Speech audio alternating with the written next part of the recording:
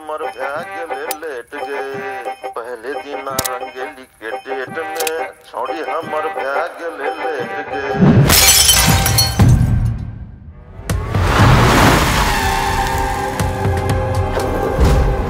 मेरो एउटा बानी छ सिएम साहब। भनेको कुरा सम्झिन्छ। तर भनेको कुरा नगर्दा झनै बढी सम्झिन्छ।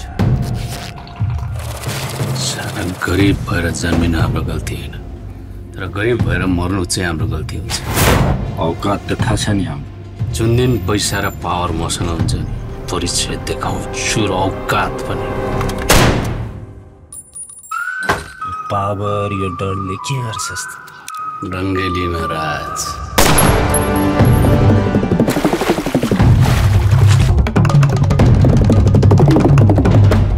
कहिलेसम्म गर्नुहुन्छ यस्तो काम?